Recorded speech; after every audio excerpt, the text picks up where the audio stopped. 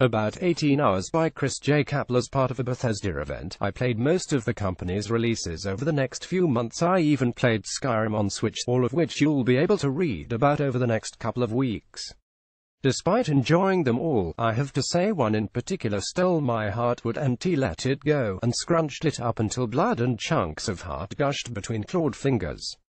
This game was Doom VFR, the virtual reality version of 2016's Doom, and I think it could be the game I've been waiting for my entire life. Would I like to physically enter the world of Doom? Hell yes I would rip and tear rip and tear our review of Doom 2016 we loved it Doom VFR is Bethesda's latest trip into the VR space after a little mishap with the HTC Vive controllers I was ready to plunge into the world of Doom. First, controls. There's shoot, throw grenade which you have to manually do by miming, change weapons, dodge in four directions, and teleport. Teleport is the main way of getting around, as well as doing something else that's awesome that I'll talk about shortly. The most important part to realize about Doom VFR is that demons come from everywhere, meaning literally all around you. This is not an on-rails shooting gallery, it's a proper Doom game and you have to treat it as such, moving constantly and being aware of attacks from all angles. It's very difficult in that regard but it's also incredible amounts of fun, and totally feels like Doom. The other important thing you need to know, Doom fans, is this is an original Doom game. It's not a port. You'll revisit some areas from Doom 2016 but overall it's an original game with an original story, you don't even play the iconic Doom Slayer Marine. If you're the level of fan like myself that needs to play every single Doom game, including the likes of Doom 64, Doom RPG 1-2, and Doom Resurrection, then I'm afraid you'll need to have a VR kit in your Christmas stocking this year. I'll say this once though Doom VFR is worth it. Set after the initial invasion by hell that just keeps happening, doesn't it? You play the last human survivor, except you're not a survivor anymore. Your consciousness is transferred to a cybernetic robot suit and sent off to fight demons invading the UAC facility. Because the UAC are nice like that. After a quick zip around the lab where I woke up, I headed up to the equipment area where I could get weapons and that lovely cybernetic combat suit, modeled on the iconic Doom Slayer armor. Then all hell broke loose, literally. Glancing backwards over my shoulder, something I absolutely really did in real life, I saw fireballs and explosives shooting back and forth in the corridor.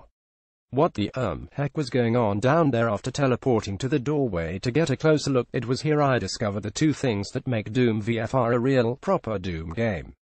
The first is demon infighting, which has been a thing since Doom 1993, and that was exactly what was going on in the corridor. The demons, specifically imps and possessed soldiers, were fighting each other.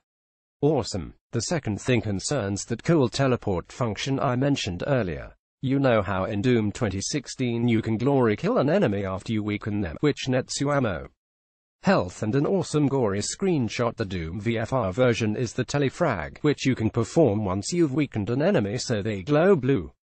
Then just teleport into them and they'll explode in a shower of blood and gibs. Again awesome. I fought down a horde of imps and possess using only the basic weapons available including shotgun and plasma rifle, looking back and forth as they swarmed me from all sides, dodged fireballs and telefragged as many as I could in order to get kudos among my peers well, the nice PR lady watching me. Then several of the fat fire-shooting mancubi started closing in and I thought my time was up then I was transported to hell properly this time, and towering over me was the epic image of the icon of sin from Doom 2. Sadly I didn't have a rocket launcher, or why would they shot at it?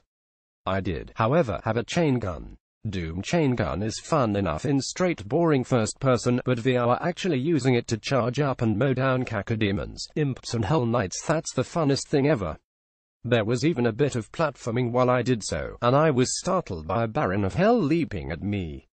Fortunately a bit of plasma rifle to the face did him in while jumping. Eventually after being swarmed from all sides I made it through, killing everything in my path while exploring the bowels of hell, and was promptly eviscerated by a pinky demon. As endings go, that works for me. Doom Virtual Thing Reality will be out December 1st.